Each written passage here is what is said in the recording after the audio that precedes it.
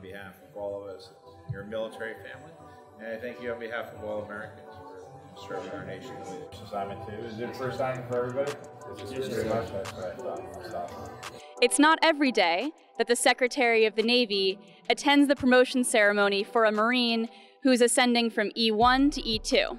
But Private First Class, Chesty the 16th, isn't just any Marine. After enlisting in February 2022, he is finally a private first class. Follow such orders and directions as given from time to time by superiors acting according to the rules and articles governing the discipline of the Armed Forces of the United States of America. Given under my hand, Marine Barracks, Washington, D.C., this 13th December in the year of our Lord, 2022. Signed, Robert A. Sucher, Colonel, United States Marine Corps, Commanding.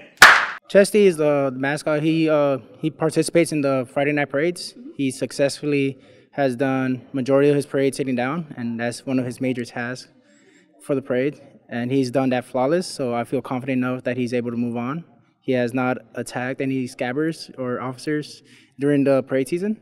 Uh, he's also been to several events where he has not had any issues, whether it's barking or uh, trying to jump on his guests. Thanks for everybody for being here and uh, putting your schedules on pause uh, this afternoon. That's a joke. I need some laughs. I'm a dad. Made a lot of bad dad jokes. Yes, he's a very good boy. He enjoys the attention. He enjoys being around little kids. He's very playful with them. He likes relaxing. He uh, he enjoys his downtime a lot. He likes walking around the barracks, uh, cheering out the Marines on duty, making sure they, they don't have a bad day. Congratulations on this world earned promotion. You, Marine, are a very good dog, and I thank you. Yes, I actually did handle uh, Chesty the 15 before we retired him. So I, I grew attached to him too, but he uh, he had a little behavior issues uh, down the road towards the end of his contract. Chesty the 16 is doing a flawless job currently, and I hope to see more better from him coming up.